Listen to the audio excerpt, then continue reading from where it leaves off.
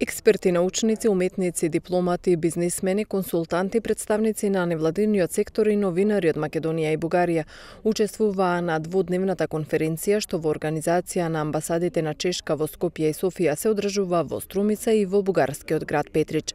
На денешниот завршен настан во Струмица амбасадорот на Чешка Јарослав Лудва истакна дека регионалната соработка е првиот чекор кон европската интеграција.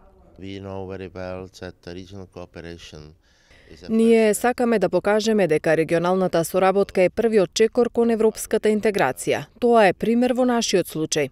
Во нашиот дел од Европа почнавме со соработка во рамки на Вишеградската група.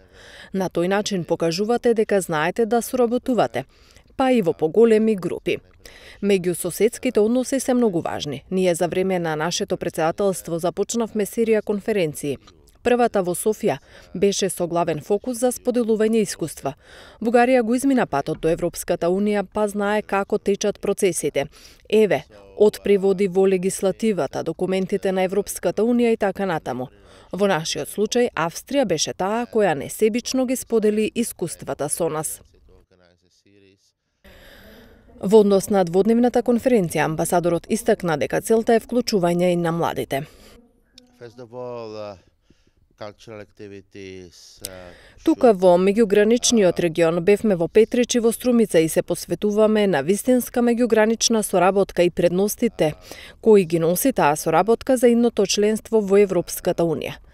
Имавме многу плоден диалог и вчера и денес ги слушнавме нашите експерти. Денес завршивме со дискусиите за меѓугранична соработка и вклучувањето на младите. Тоа е иднината на диалогот. Во однос на случувањата со културните клубови во Македонија и во Бугарија, амбасадорот го повтори ставот на Чешка дека билатералните прашања не смеа да бидат дел од преговарачка рамка. Инаку на дводневната конференција представена е можноста за активности на така наречените бизнис инкубатори, кои би помогнале на компаниите во двата региона да го преживеат периодот на започнување со работа и да им помагаат да го прошират својот бизнис. Стана збор за можноста за реализација на проекти за млади на подрачјето на тромегието помеѓу Македонија, Бугарија и Грција, односно во регионите Струмица, Петрич и Серес.